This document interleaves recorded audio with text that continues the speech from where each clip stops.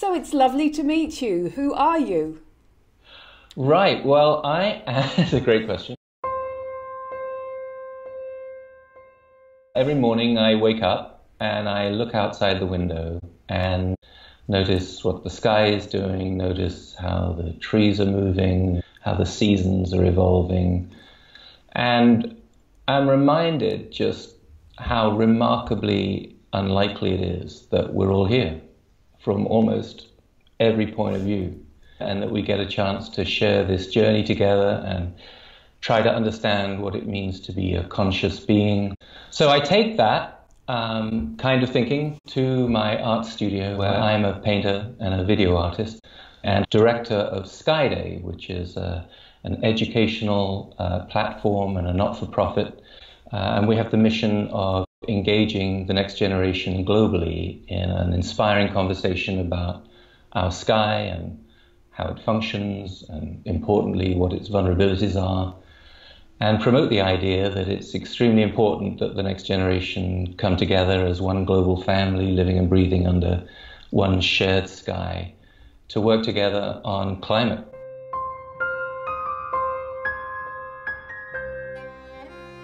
Your main inspirations um, for your um, project um, are Yo-Yo Ma and also very early on uh, your father.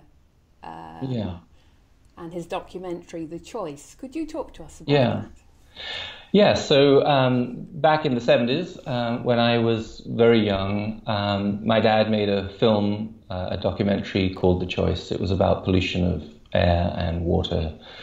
Um, and I remember when he came home having interviewed experts and listened to what they were telling him about the implications of our practices, that he was dismayed at what he'd learned. And talking about our environment, thinking about our impact on it, um, ever since then has become something of a family conversation, always was. So in 2013, when I attended Ideas Fest um, and heard many great uh, conversations from some extraordinary people, um, Yo-Yo Ma was there, um, and he was speaking at Ideas Fest about um, his ideas of um, moving curriculum from STEM to STEAM, um, but also um, what struck me greatly was his ideas about the role of a citizen artist. How can we, those of us in the arts, use you know whatever talents we got to serve the next generation by engaging them uh, and inspiring them on something that matters a great deal to us. And I was really inspired by him. Um, he's an extraordinary human being, of course, Yo-Yo Ma. Um, serious people are thinking of him as perhaps being the greatest artist of our time, like Leonardo da Vinci great, because he has such breadth of talents, both in his arts um, as a cellist, of course, and as a composer, I believe he composes as well, um, but also as a humanitarian and all the extraordinary work he's doing to help young people. Um, he certainly has my vote.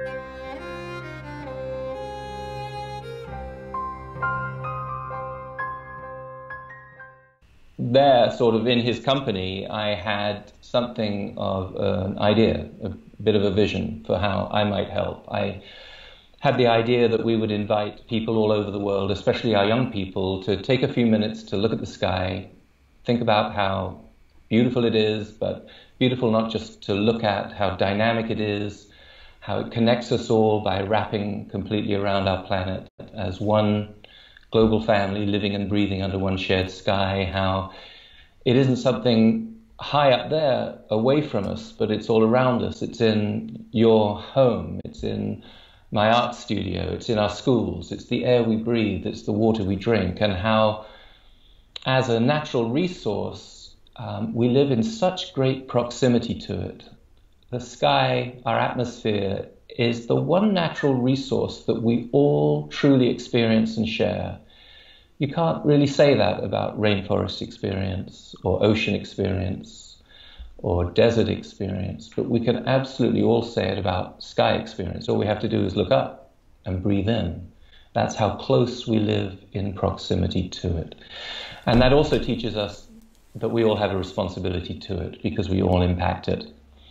Um, every one of us is in the room uh, of people who must go to work to take care of this great resource for everyone's benefit.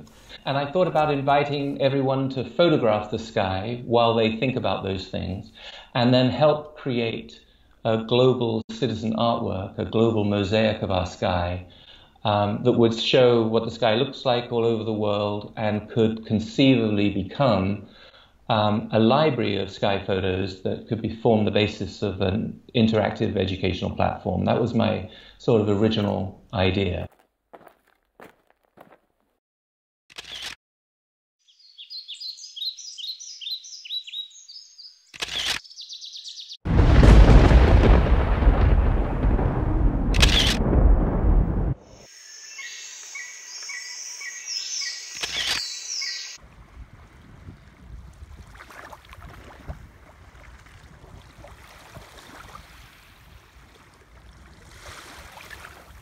So um, or and uh, encouraging children uh, and by association adults to uh, wonder at the world, to wonder at the sky in in ways that they have not done until now. Um, what action would you like to happen as a result of this?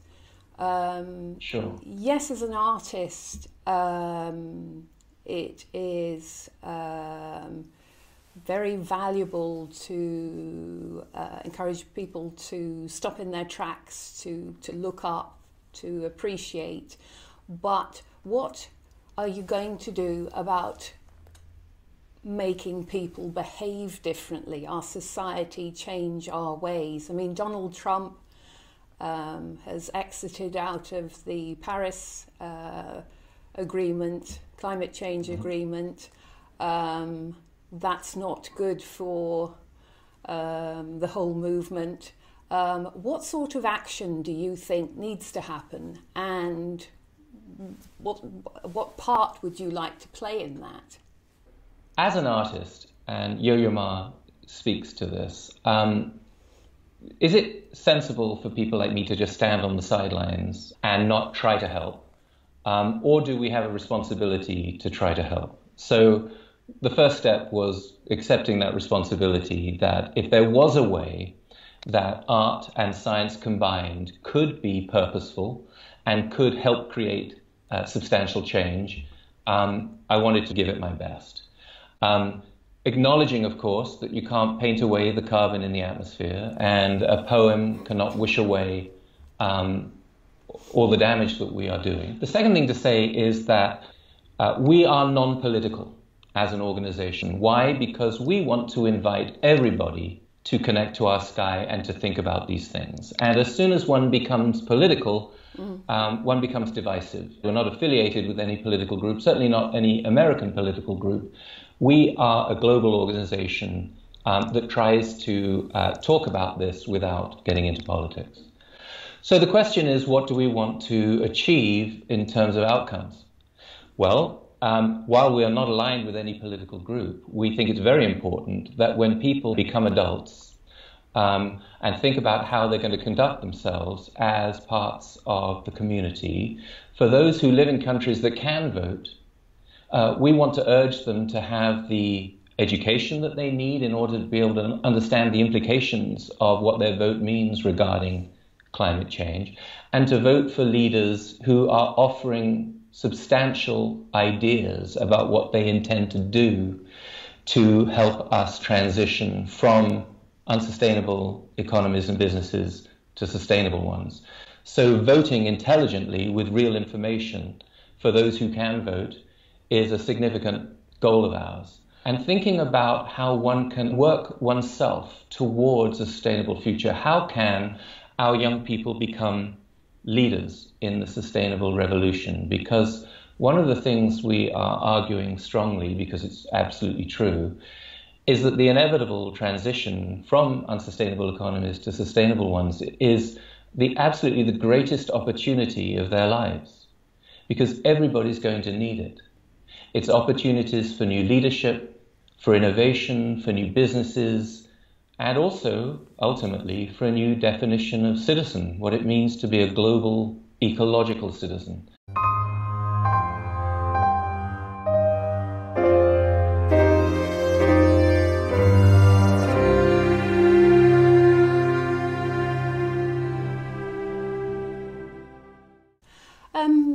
Prior to um, interviewing you, I had a, I reacquainted myself with the Sustainable Development Goals, and um, it was quite interesting because uh, your focus at the moment is the sky, and yeah. um, two well.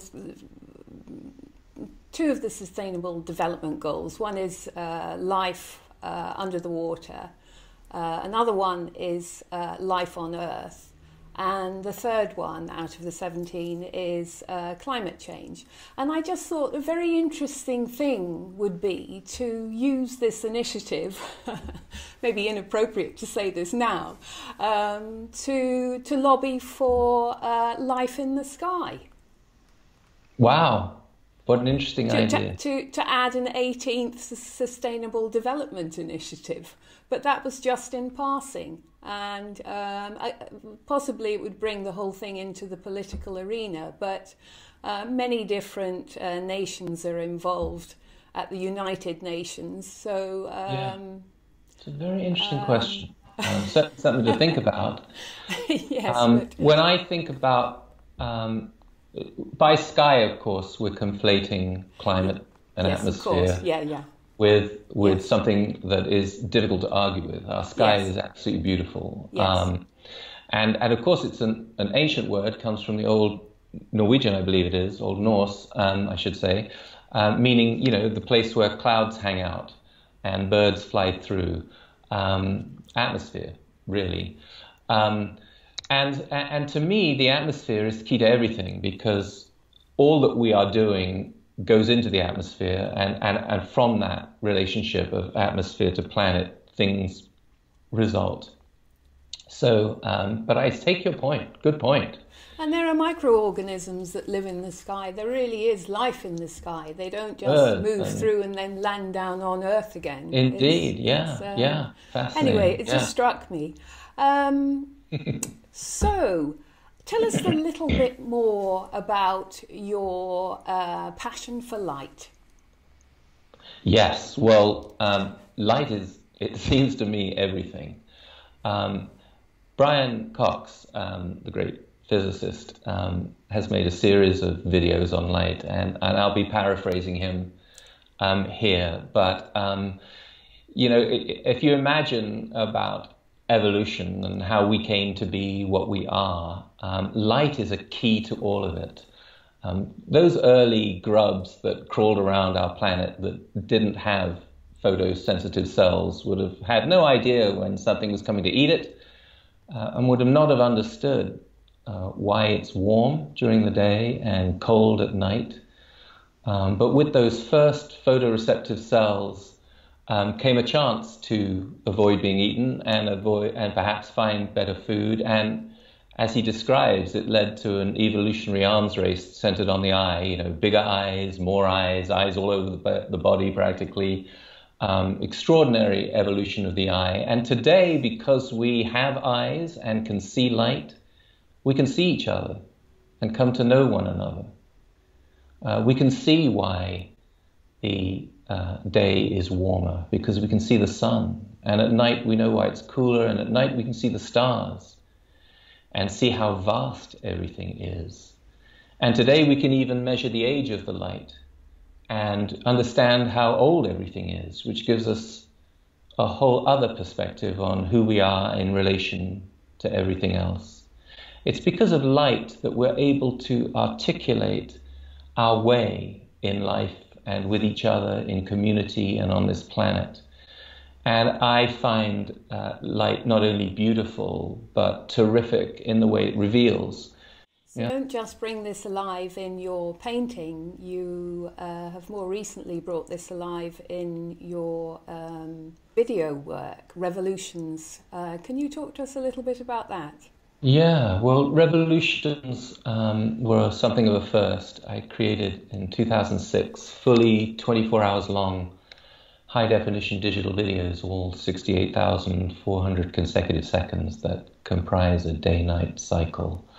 Um, and I did so because as I was standing on a lake preparing for a solo show at the Grand Rapids Art Museum of paintings, um, I was dealing with the thing that all of us who paint out of doors deal with, which is the frustrating speed with which light changes, and wondering if there was another way to convey the experience that I was seeing. All those moment to moment causal relationships that result in the way things are experienced. And it occurred to me, standing on the banks of this river that it would be great if I could create a video of this that, unlike time elapsed art, which takes frames in a certain amount of period of time and then plays it back more quickly, giving the appearance of time passing more quickly. That we, I could create a, a sort of projection that would be like a living window or a living canvas in which everything evolved and moved um, in real time. In 2003, when I began to think about this, there didn't seem to be a way to pull it off. Um, but after a few years of experimentation in 2006, I was able to create the first one and then made a few more, including one at Central Park of the light changing there, which was and Stonehenge as well, I believe. Yeah, that was terrific to spend four days and nights um, with the Stones. Um, a powerful experience, and mm. it was around solstice. So at four or four thirty in the morning, I was surprised, as were the Druids who arrived surprised when almost 200 of them, led by their Grand Master, arrived, wondering what on earth I was doing, and me just astounded they were there. But they were absolutely amazing. It was beautiful to yes. be able to be witness to this event, and uh, that was a, a beautiful experience. Um, it was interesting um, because when I, um, I, I watched that particular video, um, what had occurred to me, apart from um, the, the the summer season video of four seasons where you see a man or a woman coming into view and swimming with, I think, a seal behind them. Um, the thing that occurred to me is that uh, neither people nor buildings. Uh, um, uh, seem to appear in your paintings or videos. It's, it's a rare sighting. Uh, can you yeah. explain about that? In my art in general, I want to focus on the other. Um, there's a great deal of art and brilliant art being created um, about us, about the body, about our relationship to each other, about the human experience uh, in relation to each other. But I wanted to turn my attention elsewhere and to examine the um, way our environment moves and flows as if you were the first person to see it and you were alone seeing it and really meditating on it.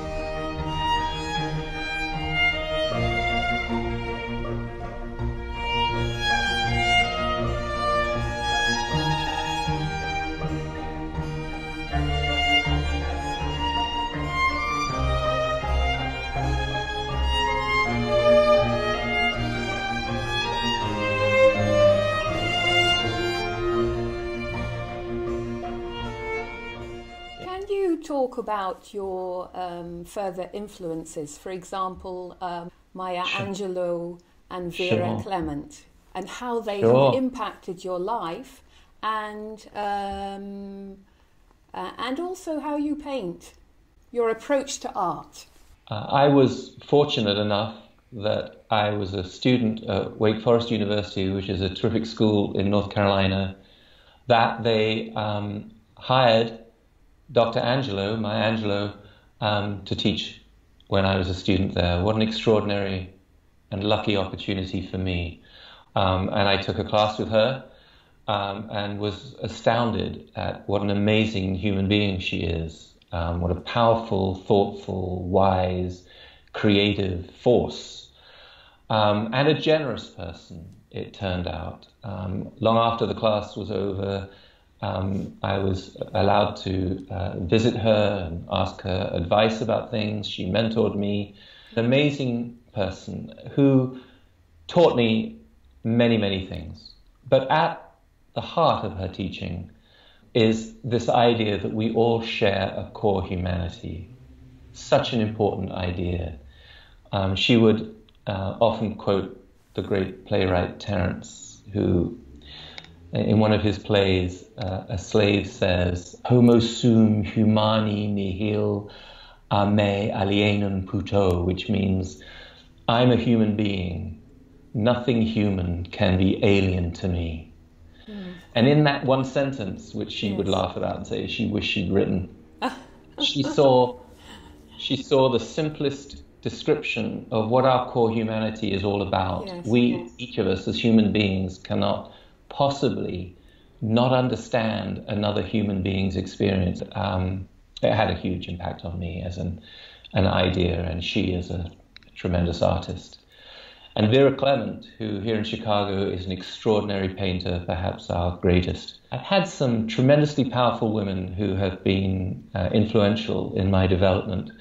It was extraordinary to be her student.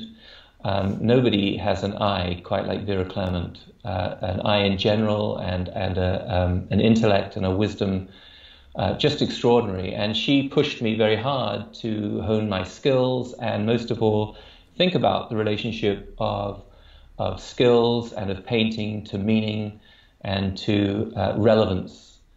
Um, the Sky Day project is uh, yeah. a major project for you, as we said earlier. Um, yeah. And uh, you have some uh, incredible people involved, in, including uh, from Daniel Horton right the way through to an amazing woman called Nicole Stott Absolutely. was until yeah. recently a NASA astronaut and is now yeah. uh, an artist, a space artist. She calls herself yes. the artistic astronaut. Um, yes. So you have um, amazing support um, and interest there. Um, what yeah. are the barriers to achieving what you would like to achieve next? Wow. What are the barriers? Yes. The barriers are the human being and the time we live in. Um, we are all incredibly busy and inundated with input. So, engagement of any kind, no matter how important the subject, and, and let's face it, um, there are a few things in actual fact that are more important than the impact we're having on climate. If we don't um, come together truly as one global family and help each other with empathy and with thought and with effort and with wisdom and with creativity and with innovation, if we don't come together in those ways and create substantial change, um, we're not going to like it. Our children aren't going to like it. Our grandchildren are going to be miserable because they will be dealing with a laundry list of outcomes. The question is how do we engage people on that in a way that creates substantial change? And the first obstacle is cutting through all the noise and some of the deceptions and getting people's attention. The problem is that casual engagement is very hard in and of itself.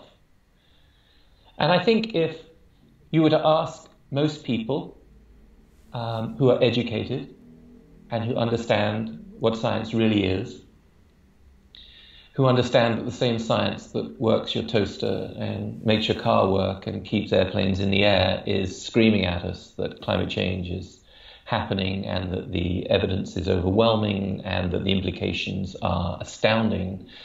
Um, but if you would ask most people who have been educated, um, they will tell you they care about climate change. If you ask them if they care about their parents, they'll probably say, Yeah, of course I do. And then you ask them how often they see them, they might be like, uh, you know? yeah. so caring and acting, creating substantial change, uh, is another whole level of obstacle.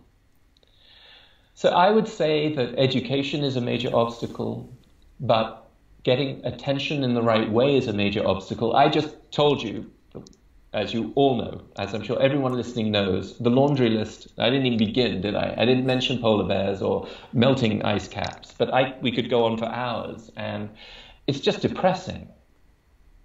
and it makes people feel helpless because we know we all have to do this together. We know not everybody is doing this together.